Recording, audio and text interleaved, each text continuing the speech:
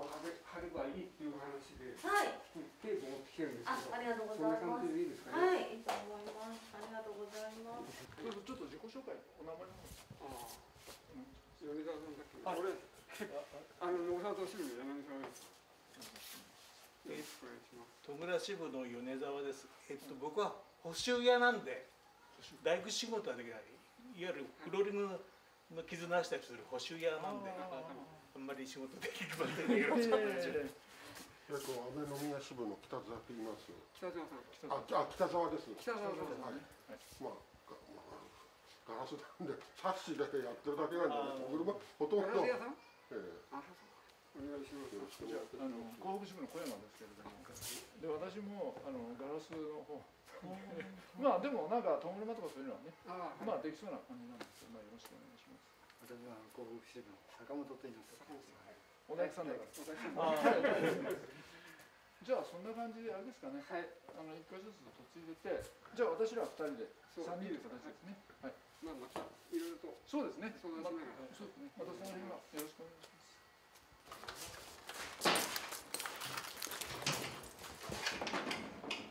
こっち側だね。こんなもう。うん。こん。え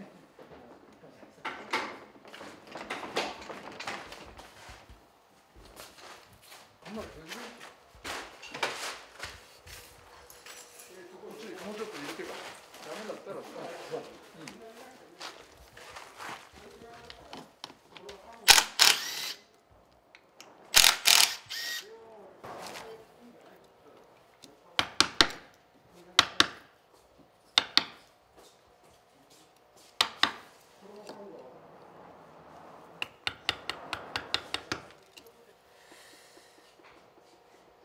入れるのみですね。よく入れる。まあ、それは仕事なので。そうですよね。最近のみ使う仕事なくて。そうです。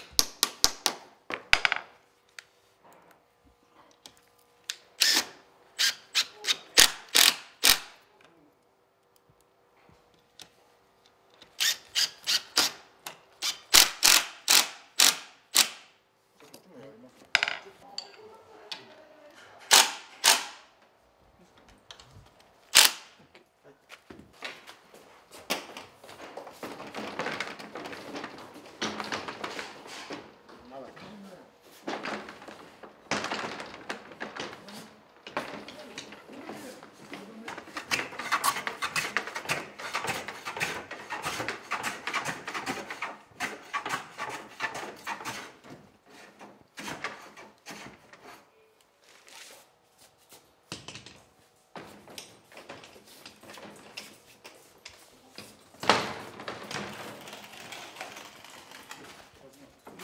こっちですね。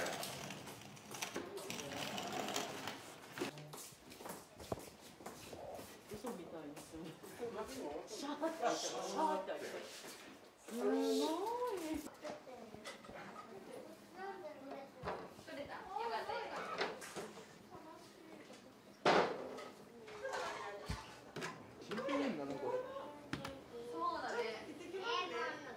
だいぶ至ってますね。うん、もうビスもこれ国で止めてあるから。ああ。ダメです。ダメですね。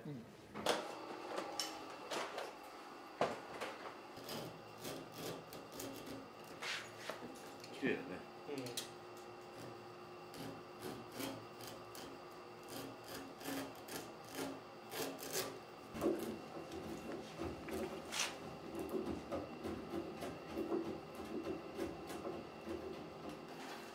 二枚あるんですね。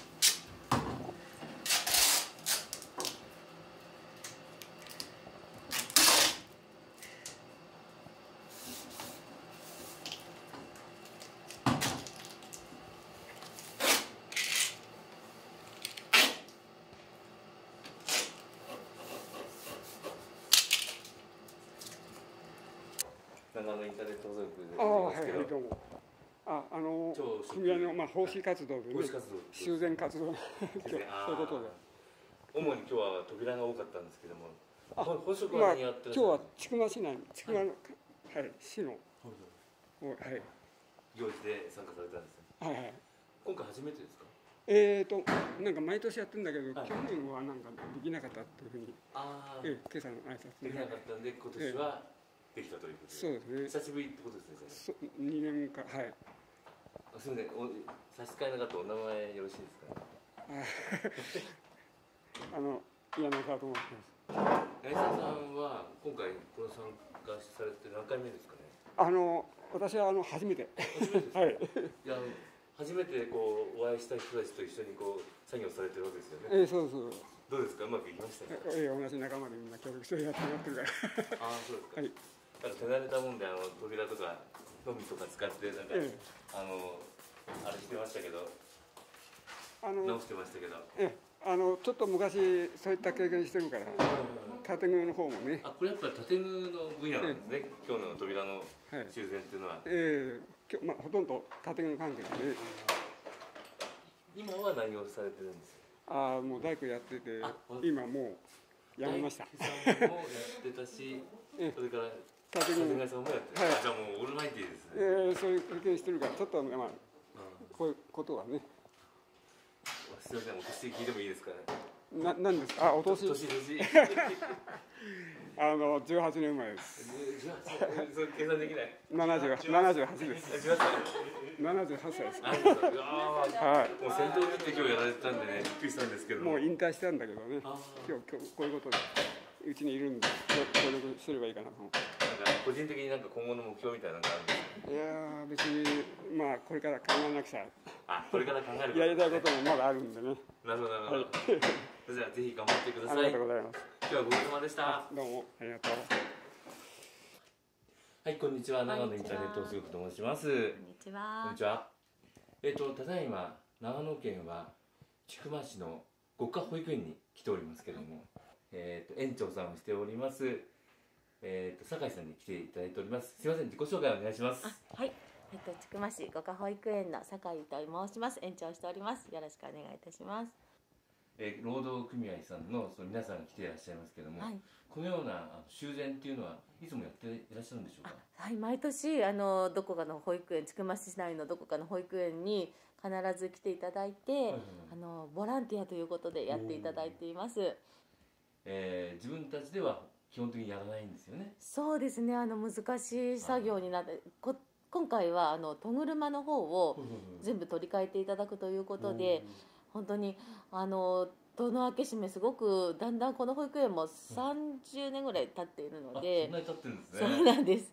であのなのであのどんどん扉の、ね、開け閉めができなくなってきて、レールが減っているということでで戸車戸車を全部取り替えてくださるということで本当にありがたいと思っています。うん。今ちょっと見せていただいたんですけども、まあちょっとなんか釘かなんかでね本来なら木ネジみたいので止まってるとこ、あはい。釘で止まってるとこもあったよなんて、ええ。まあ苦労しながら、まあ、はい。今までやってきたのかななんてええ。おっしゃってましたけど、はい、なんかあの下見の時に、はい。あのこの戸車が合ってないっていうことも見つけていただいたりして、はいはいはいだから一度はもしかしたら変えているのかもしれないんですけれども30年長いもんね。そうなんですよ。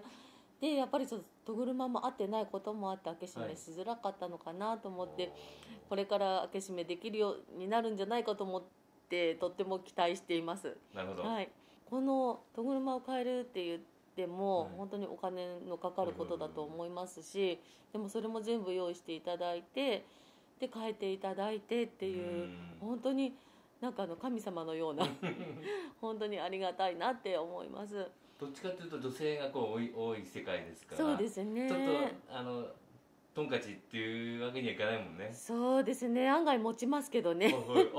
そうですね。もうどうしようもない時はああのネジも回しますしいろんなことねやりますけどねやっぱりあの専門的なことはできないのではい。ありがたいと思います。あの本当にストレスがないだけでも全然違うと思います。あの子供たち一生懸命こう開かない開かないって言いながら開ける時もあったので、はい。あそうですか。そのストレスがないだけでもね本当に解放されるんじゃないかと思います。あの改修とかされてるんですか？あ今なんか。今屋根の改修をしています。はい。屋根なんですね。そう屋根のペンキを全部塗り替えていただいて、やっぱり老朽化やっぱりしているので、でそれとあのテラスのこうなんて支柱うんを全部塗り替えてもらってます。今後はどんなふうにこう、えー保育園をなんかしていこうとかそういうなんか夢みたいなのはあるんでしょうか？あそうですね。あの今子どもたちの自主性がとてもあの叫ばれているはいはいので本当に子どもたちが自分で考えて自分で行動してでできたとかそれからあの楽しかったっていうね、あの思いをたくさん持てるような保育園にしていきたいなと思っています。ぜひあの頑張っていただきたいありと思いますがとうございます。はい、今日はありがとうございましたありがとうございました。